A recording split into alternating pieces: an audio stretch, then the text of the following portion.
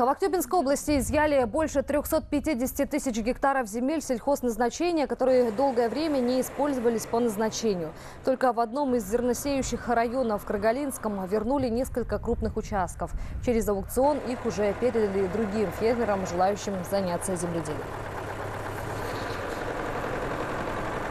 Алты жарым мың гектар пайдаланылмаған Мы выявили 6,5 тысяч гектаров земель, неиспользуемых по назначению. Эти участки изъяли через суд и выставили на торги. В нашем районе действует 178 крестьянских хозяйств и 14 сельхозкооперативов. Сейчас усиленно работаем над тем, чтобы все сельхозугодия приносили прибыль.